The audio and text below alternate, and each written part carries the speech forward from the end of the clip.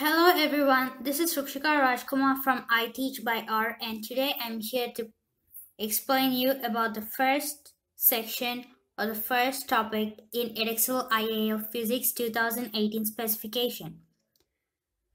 So the first topic will be working as a physicist and in this topic you'll be learning about the math skills required for physicists which is recognize and making use of appropriate units in calculations like knowing the difference between base and derived units, estimate results, like estimating the speed of waves on the sea, make order of magnitude calculations like estimating approximately what an answer should be before you start calculating, including using standard form, use algebra to rearrange and solve equations, for example, finding the landing point of a projectile, Recognize the importance of the straight line graph as an analysis tool for the verification and development of physical laws of, by experimentation.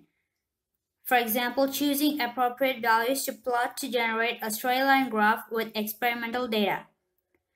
Determine the slope and intercept of a linear graph, for example, finding acceleration from a velocity to time graph.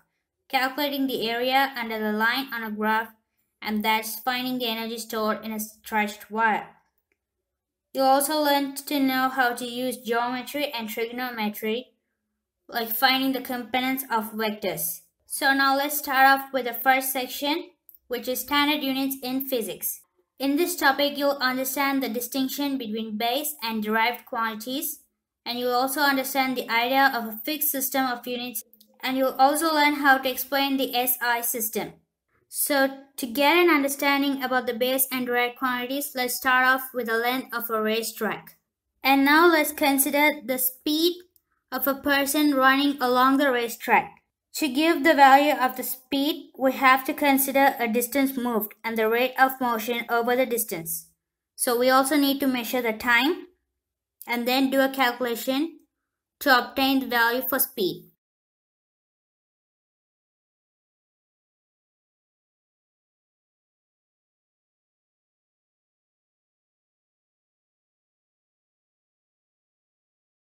So now you can see there's a fundamental difference between the types of quantity that are length and speed.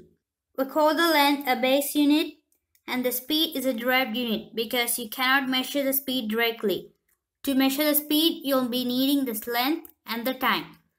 So in this equation, you can learn that length and time are base quantities whereas the speed is a derived quantity. So in total, there are around 7 base units and all the other units are derived. Some derived units have their own names. For example, the derived unit of force should be kilogram meters per second squared, but this has been named the Newton after Sir Isaac Newton. Other derived units do not get their own names and we just list the base units that went together in deriving the quantity. For example, speed is measured in meters per second. So now let's list the seven basic quantities, their names and their symbols.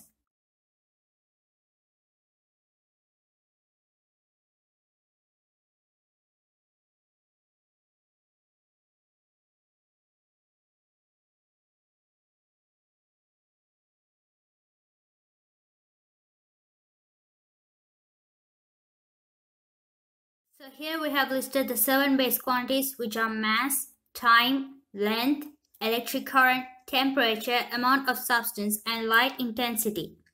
Now let's write down their unit names and their unit symbols.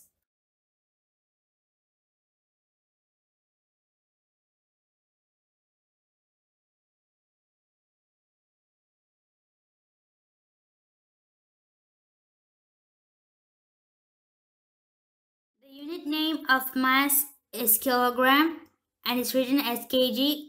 Of course, we have other units as well like milligrams, grams and tons.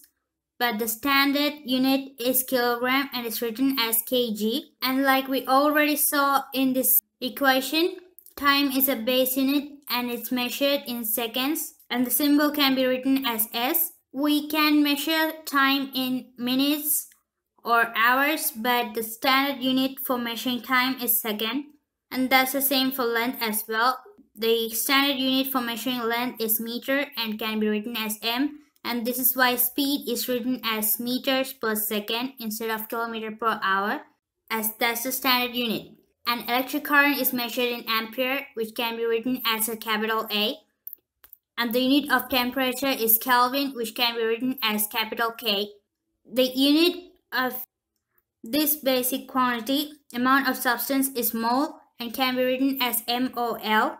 For those who have studied chemistry, you would be familiar with the amount of substance and you would have done mole calculations. And the standard unit for light intensity is candela and is written as CD. So now let's refer to the derived units that have their own name.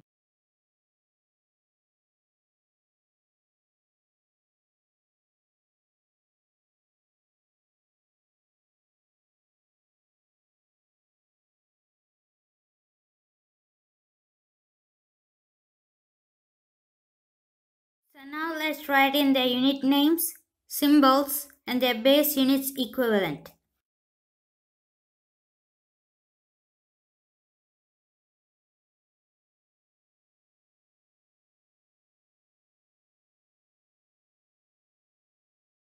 So how do you calculate force? Force is equal to mass into acceleration. We've already seen that mass is a base quantity and Acceleration is a direct quantity as well, but we haven't uh, listed it here because it does not have its own name.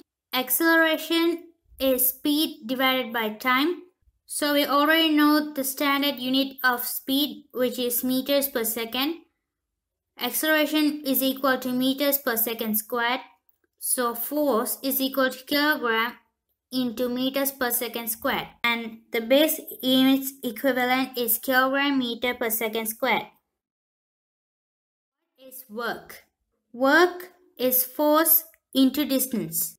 So we have already seen the base units equivalent of force. So that into meters will give us kilogram meters per second squared.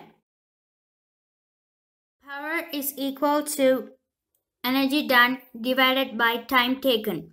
So kilogram meter squared per second squared divided by time which is seconds will give us kilogram meter squared per second cubed.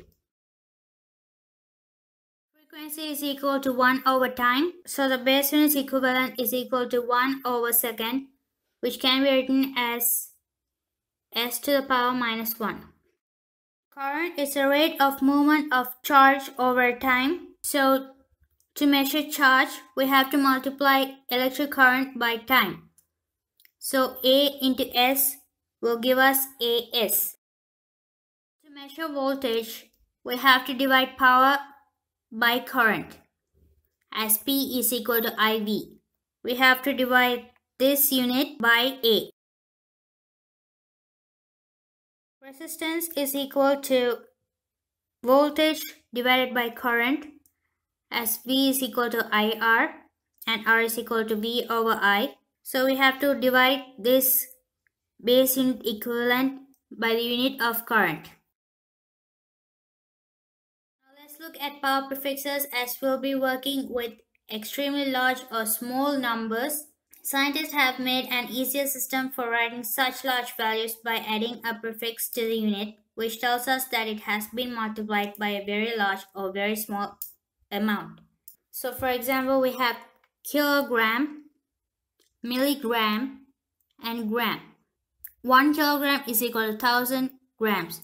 In kilo, the factor is 10 to the power 3. Now I'll be writing up the factors, their names, and their symbols.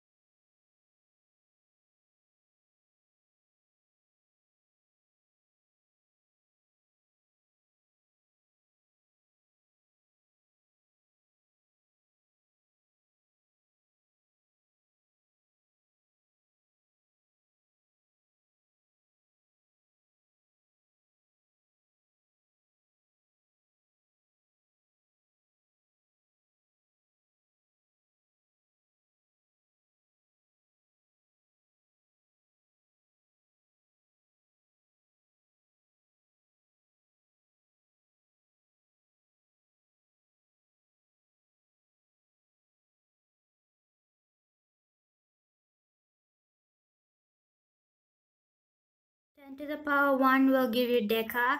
10 to the power 2 is hecto. 10 to the power 3 is kilo. 10 to the power 6 is mega. Giga will be used for 10 to the power 9. And tera will be used for 10 to the power 12. 10 to the power 15 is peta. 10 to the power 18 is exa. Eh, 10 to the power 21 is zetta.